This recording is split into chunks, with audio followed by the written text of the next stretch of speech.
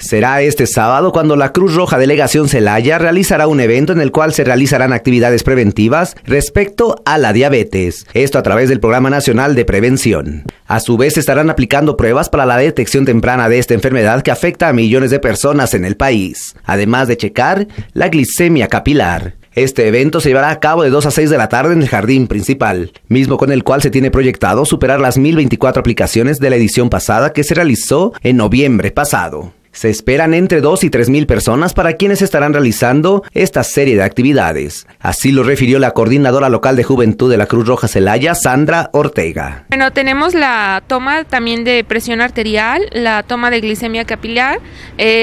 también vamos a medirlos, a pesarlos y a darles recomendaciones útiles, ya sea eh, algunos ejercicios que puedan realizar y recomendaciones a través de nuestro programa de educación para la diabetes, que es detección oportuna de los signos y que puedan iniciar para padecer esta enfermedad. Todo esto destinado a niños, jóvenes y adultos que serán atendidos por los 15 voluntarios que participarán en esta campaña de prevención de la diabetes. Con imágenes de Luis Camargo, Román Alonso, Vía Noticias.